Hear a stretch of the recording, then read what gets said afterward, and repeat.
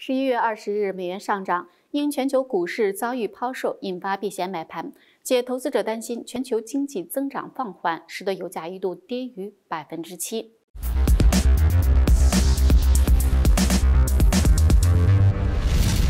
观众朋友们，大家好，今天是十一月二十一日，星期三。欧元对美元下跌，受欧洲股市下滑的拖累；英镑对美元下跌，但是英镑对欧元上涨。此前，英国首相梅周二表示，他与欧盟谈判达成的英国脱协议适用于英国所有的地区。美国股市周二连续第二日遭到抛售，能源股跟随油价应声下跌。接下来，一起来回顾一下周二的要闻：一、中国代表说，世贸组织改革必须坚持反对保护主义和单边主义；二、美国十月新屋开工反弹；三、用技术性解决方案来替代北爱尔兰担保协议。四、中非两国签署多项双边合作文件。五、国际能源署敦促欧佩克不要减产。六、美国经济衰退可能性稍有上升，美联储或更少加息。商品方面，油价周二重挫逾百分之六，交投放量。美国原油价格跌至一年多来最低水平，因市场对全球经济成长放缓的担忧，助长了对于原油需求的担忧。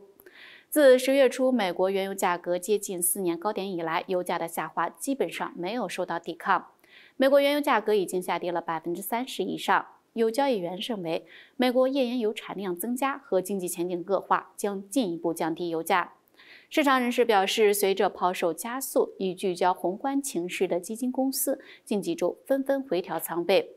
晚些时候，API 公布的数据显示，原油库存意外录得减少一百五十四点五万桶，结束八周连续增加对市场带来的利空，这才得以使油价跌势放缓。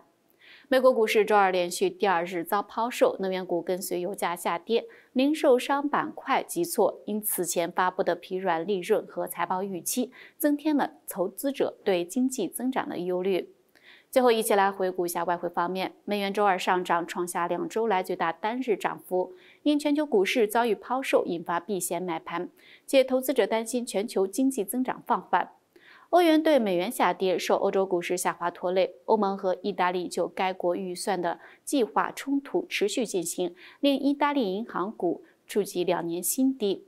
意大利国债再次遭到抛售。